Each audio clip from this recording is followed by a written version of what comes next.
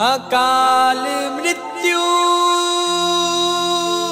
वो मरे। जो काम करे चंडाल का, और काल उसका क्या बिगाड़े। जो भगत हो महाकाल का। के आर